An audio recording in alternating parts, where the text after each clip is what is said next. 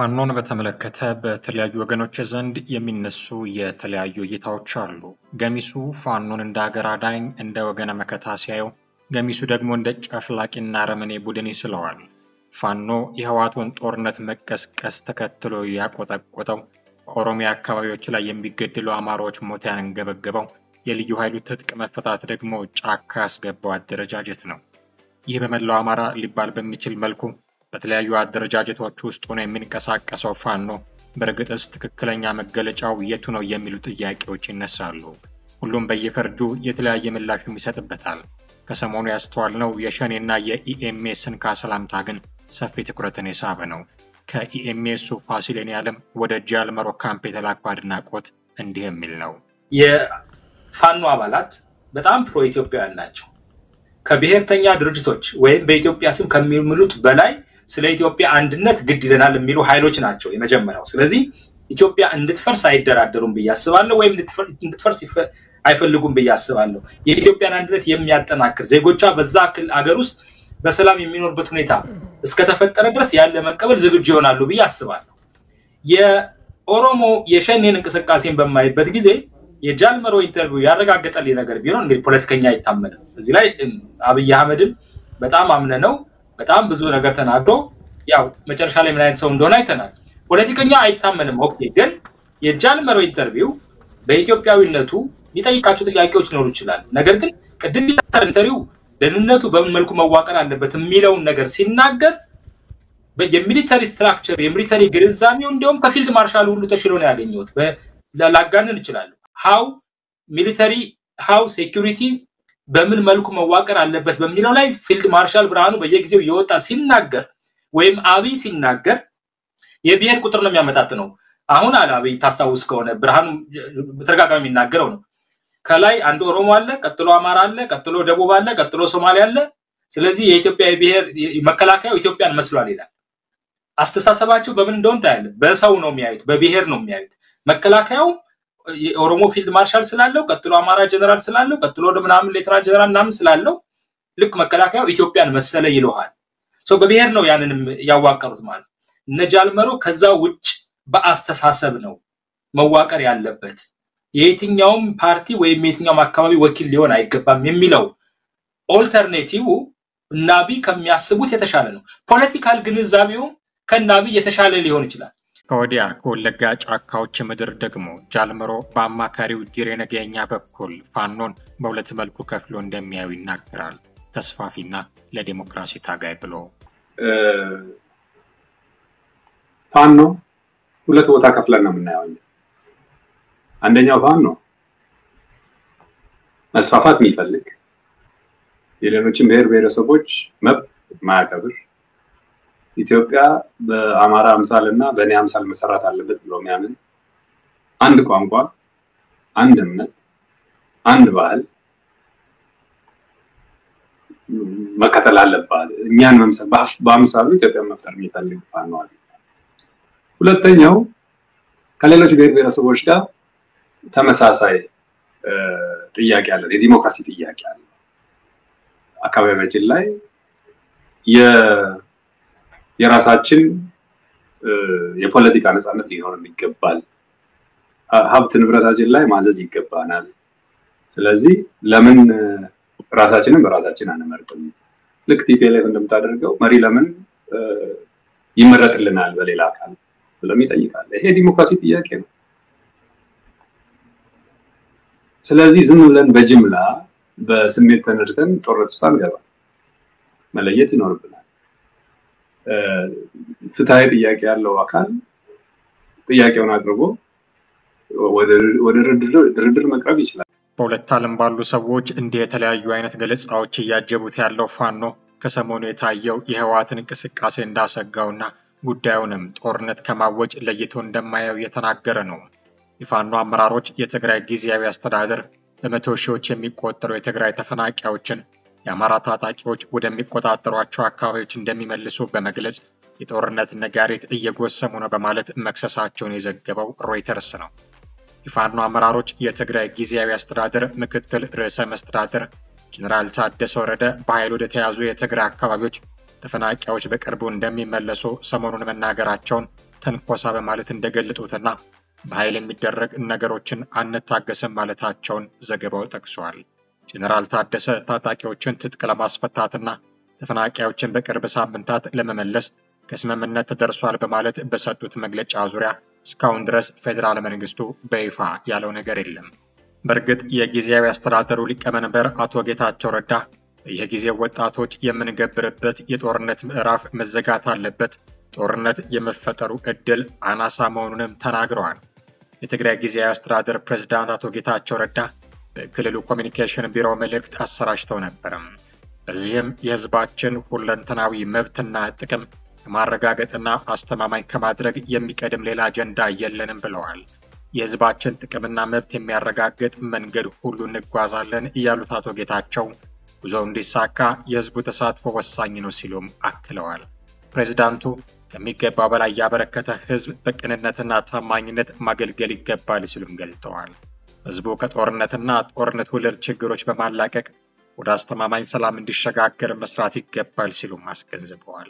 አቶ ጌታቸው ረዳ በየጊዜው ትኩስ ኃይል የሆኑትን ወጣቶች የምንገብርበት የጦርነት ምዕራፍ ተዘግቶ የልማትና የእድገት ፍላጎታችን እንዲሳካ መስራት አለብንም ብለዋል። ይህን የአቶ ጌታቸውን ንግግር ለማመን የሚቸገሩ ግን ብዙዎች ናቸው። ምክንያቱም ህዋቶች በቀደመ ታሪካቸው ነገሮችን ለማዘናጊያነትና ጊዜ ለመግዣነት ሲጠቀሙባቸው ታይተዋልና። አሁን በሀገር አሜሪካ የሚገኙት የህወሓቱ አድራጊ ፈጣሪ አቦይ ስብሃት ነጋ ስለ ፕሪቶሪያው ስምምነት እያሉት ነገር ለዚህ ድምዳሜ እንደ አስረጅ ተደርጎ የሚወሰድ ነው።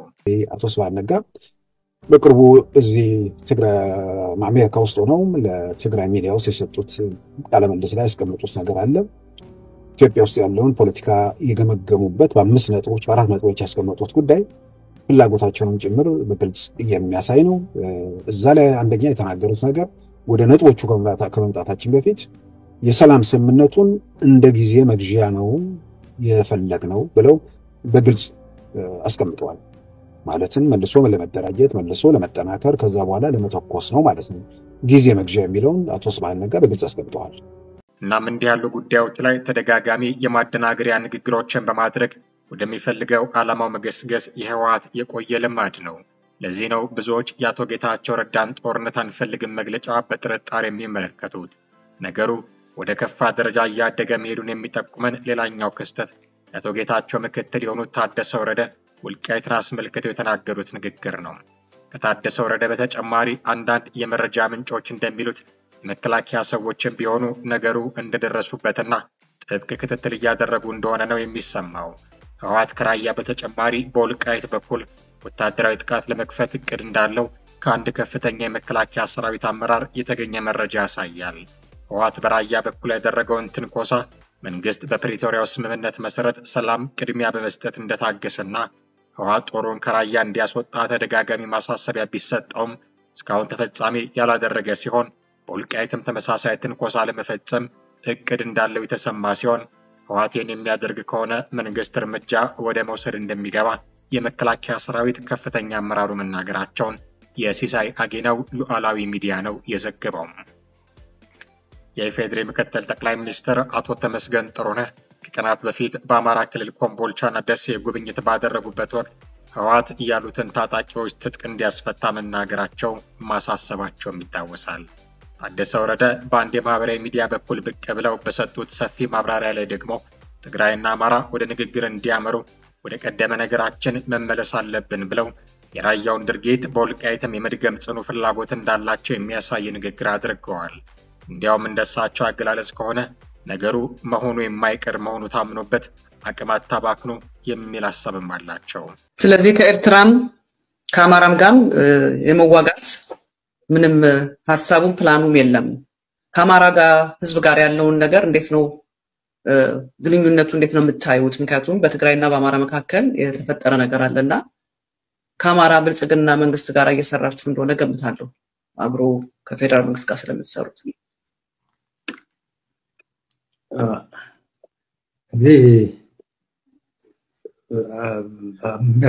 አንፎርችኔት ነው ከአማራ ጋር ያጋጠመው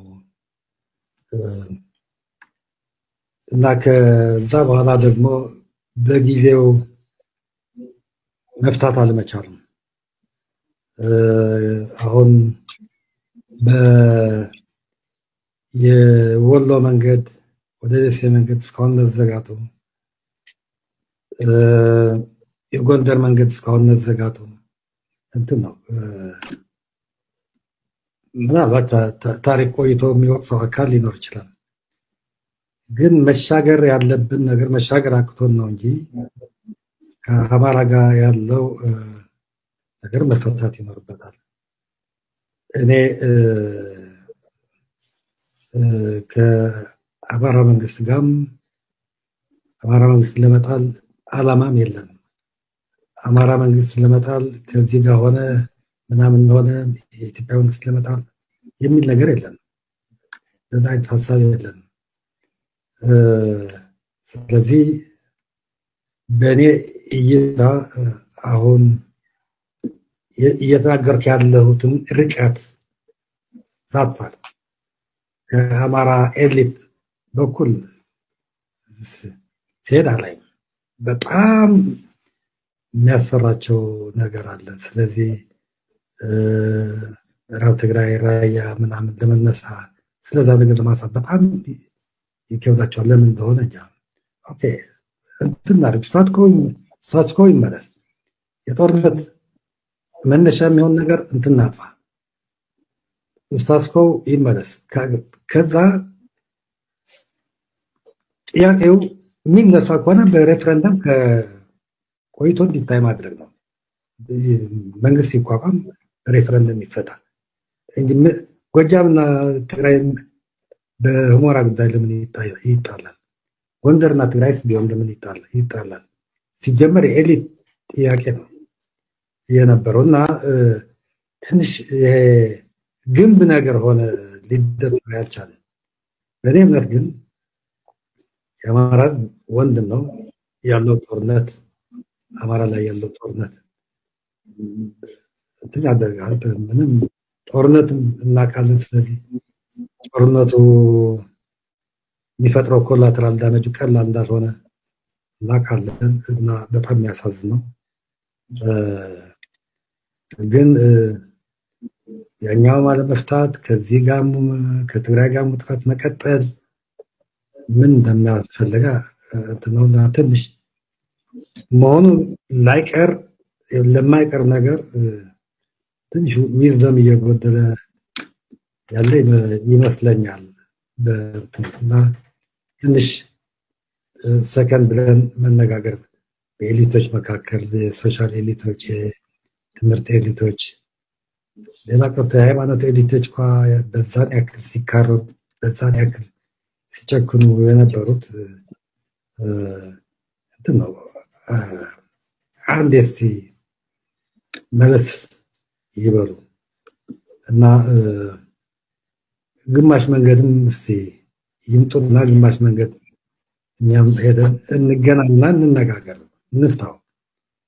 ይህንን ነገር በአይነ ቁራኛ ሲጠብቅ የነበር የሚመስለው ሀብታሙ አያሌው ደግሞ አወዛጋቢዎቹን ቦታዎች ታደሰ ወረደ ለሚሉት ዓላማ ለህዋቶች አሳልፈው የሚሰጡት ራሳቸው የአማራ ሰዎች ናቸው የሚል መብሰክሰክ ውስጥ ገብተዋል። የወልቃይት ጉዳይ በየትም ቦታ ያለ አማራ ጉዳይ ነው። የራያ ጉዳይ በየትም ቦታ ያለ አማራ ጉዳይ ነው።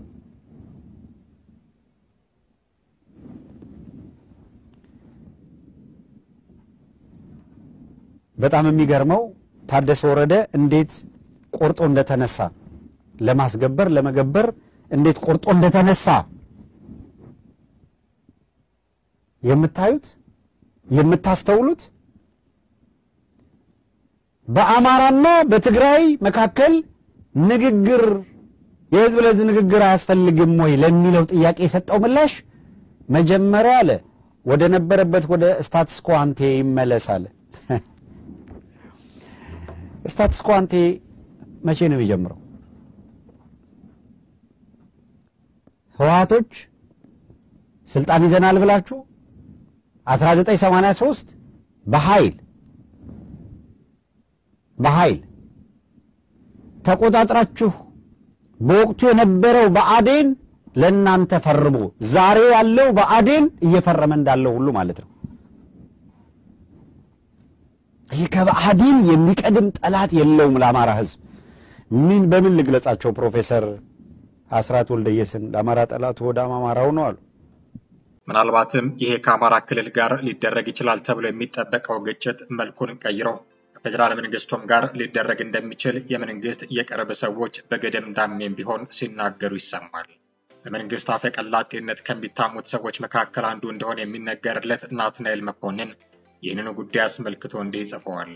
ህወሓት ወልቃይትን ይቅርና በትግራይ ክልል መከላከያ ይዞት የነበረን አንድ ኢንች መሬት በጦርነት መያዝ አይችልም። ጦርነት ከፍቶ አንድ ኢንች መሬት ለያዝ ካለ የፕሪቶሪያው የሰላም ስምምነት ሙሉ በሙሉ ለመጣሱ ማረጋገጫ ይሰጣል። የፕሪቶሪያው የሰላም ስምምነት ህወሓት ጦርነት እንዲከፍት አይደለም ትጥቅ እንዲኖረውም አይፈቅድለትም። የስምምነት አስኳሉና ቀዳሚው ጉዳይ ተኩስ ማቆም፣ ትጥቅ መፍታት ነውና ህወሓት ይህንን የሰላም ስምምነት ላለመፈጸም ያለውን ትጥቅ ይዞ ለመቀጠል ቀድሞ በእኔ ስር ለነበሩት ለወልቃይት ወይንም ለራያ መሬት ነው ጦርነት የምከፍተው ችግሬ ከአማራ ክልል ጋር ነው በሚል እንደለመዱት ሌላውን እንደ ሞኝና እንደ አላዋቂ በመቁጠር ከፋፍሎ የፖለቲካ ወታደራዊ ድል ለማስመዝገብ ጦርነት ከፍታለሁ ብሎ ከገፋበት ግጭቱ በቀጥታ ከፌዴራል መንግስቱ ጋር ይሆናል። ህወሓትም ራሱን ለማጥፋት በፈቃዱ እንደወሰነ ይቆጠራል። መንግስት የአማራን፣ የኦሮሚያን፣ የሲዳማን፣ የአፋርን፣ የሶማሌን፣ የቤንሻንጉል እንዲሁም የሌሎችን ክልሎች ልዩ ኃይል ትጥቅ ያስፈታውና የልዩ ኃይል አባላትን ወደ ፖሊስ መከላከያ እንዲቀላቀሉ ወይንም ምርጫቸውን እንዲከተሉ ያደረገው እነርሱ በታጠቀው ህወሓት ወይንም ሌላ አካል እንዲጠቁ አይደለም። ከመከላከያ ጋር ተገዳዳሪ የሆነ ኃይል በአንድ ሀገር ውስጥ እንዳይኖር ነው። እነሱን ትጥቅ አስፈትቶ ለዛውም በሰላም ስምምነቱ ዋና ጉዳይ የሆነውን ተኩስ የማቆምና ትጥቅ የመፍታት ስምምነትን አጀንዳን ደርቦ የትግራይ ክልል እስከ ትጥቁ ይቀጥል ሲፈልግ በተመቸው ጊዜ ጦርነት ይክፈት ሊባል አይችልም። የኢትዮጵያ መከላከያ መቀሌ ሊገባ ጫፍ ደርሶ እንዲቆም የተደረገው በጉልበት አሸንፎ ሁሉንም ነገር ከመቆጣጠር በጉልበት ለተሸነፈው ህወሓት በአንድ ለአምስት ጥርነፋ አንድ አይነት መረጃ እየተጋተ ለደገፈው ቁጥሩ ለማይናቅ ህዝብ ለኢትዮጵያ ቀጣይ ሁኔታ ጉዳዩን በሰላም ለመጨረስ የተሻለ እድል ይዞ ይመጣል። የአሸናፊ ተሸናፊ ትርክት ቀርቶ የኢትዮጵያ አሸናፊነት ይታወጃል። ሁሉንም አሸናፊ የሚያደርግ የፖለቲካ ባህል ይገነባል በሚል ነበረም። ከሰሞኑም በራያ በኩል የጦርነት ትንኮሳ ሲደረግ የፌዴራል መንግስቱ መከላከያ ምላሽ ያልሰጠው ምላሽ የሚሰጥ ከሆነ ለአንዴና ለመጨረሻ ጊዜ የሚሆን በመሆኑ አሁንም የጥሞናና የሰላም እድል በተለይ ለትግራይ ህዝብ የሰላም ፍላጎት ቦታ በመስጠት ነው።